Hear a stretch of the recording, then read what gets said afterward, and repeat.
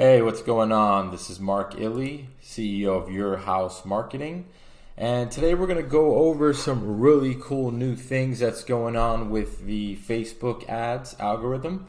So I'll get right into it. As you can see on my screen, it's shared. So we're going to a new buying type on Facebook that they just rolled out. Very exciting.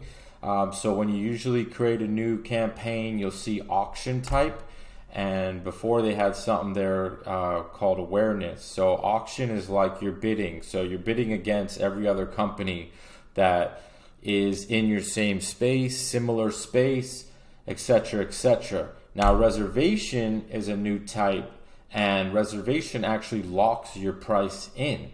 So you're going to pay a lot less for your CPM. So cost per million on whatever kind of business you're doing uh, impressions wise could get you from you know $30 to $100 per million of impression.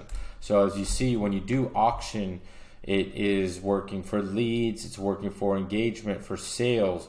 But now with the new one you're only able to do, to do awareness and engagement. So we're going to go right into it with awareness. So with the reservation type we're in a test ad account. Um, so you'll see the awareness. We're going to use awareness um, because this is giving you basically a lot bigger reach if you see for you know a lot less. So Facebook has suggested that I spend seventy thousand dollars for my budget on this to reach 240 million to 282. So the reach would be 27 million people which is a crazy amount of money, which we're not going to do. So we're going to change this over um, to a different page. Okay, so great. So that's that.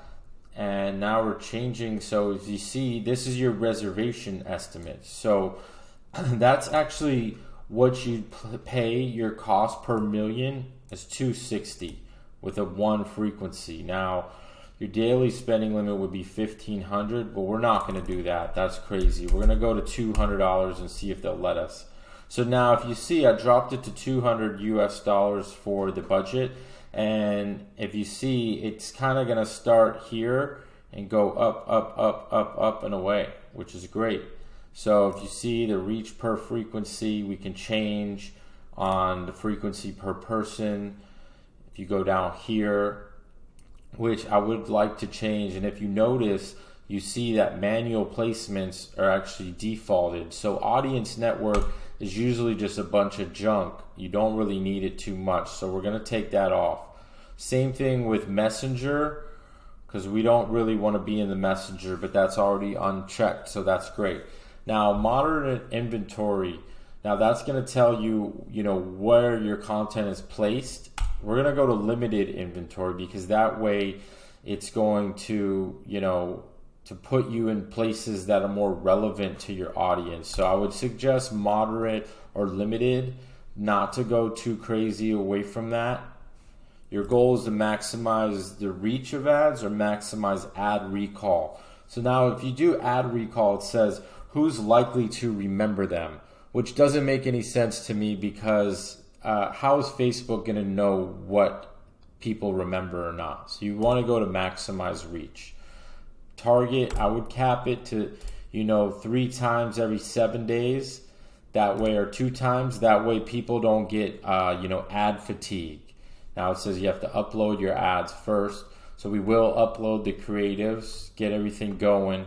But this is something really cool you guys should test out because this is brand new and this is going to reach so many more people for a, a, a, lot less. I mean, look at that 51 cents cost per million. So if I were to do a regular campaign, uh, like a, a leads campaign or a conversion campaign, you're usually paying a lot more than that. So for it to hit 51 cents cost per million for United States, I mean, that's that's crazy. So we're gonna play with the audience a little bit here, and you can just adjust, just play with it. Let me know if you got, uh, you know, what kind of results you got, and let me know how you feel about this video in the comments. Okay. Hope you guys uh, learned something. See ya.